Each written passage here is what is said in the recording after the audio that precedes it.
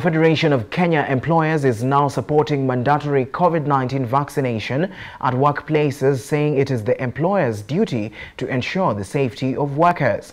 FKE Executive Director Jacqueline Mugo says they have launched campaign drives in a bid to push for higher vaccination uptake amongst workers.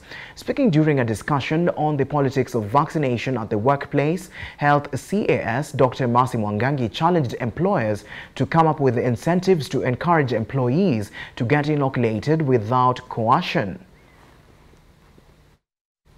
We're very happy because we have uh, about three platforms available. We have AstraZeneca, we have Moderna, and um, we have Johnson and Johnson. Those have come in within the last two weeks.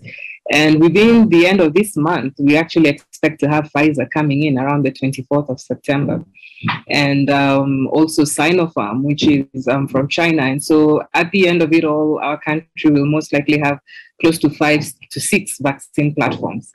Um, when we look at the situation, you know, where we are in terms of vaccination, I think the key the, the, key driver of our of our rates of vaccination have been the number of supplies that we have available in the country. We are required as employers to provide safe workplaces.